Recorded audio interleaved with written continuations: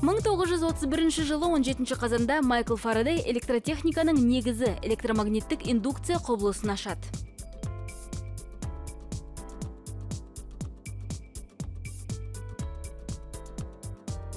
1849 жылы ұлы польшалық композитор фредерик шопен дүние салды. Шопеннің басқа сазгерлерден ерекшелігі оның қалдырған қоры фортепианоға арналған шығармалардан ғана құралған.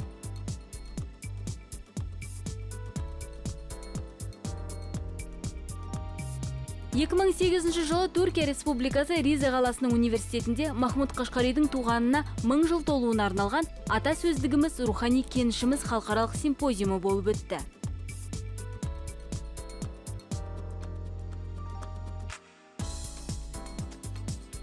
2009 жылы Қазақстанның Германиядағы жылы аясында Франкфурт кітап жәрмеңкесінде Олжас Сүлейменовтің жер шегіндегі бір минуттық үнсіздік кітабы неміс тілінде басылып, жұртшылыққа таныстырылды.